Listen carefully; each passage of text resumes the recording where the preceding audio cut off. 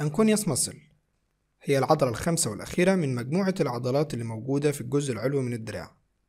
وال anconeus muscle عبارة عن عضلة صغيرة مثلثة الشكل موجودة على السطح الخلفي للكوع وبتظهر كأنها تكملة لل triceps brachii muscle.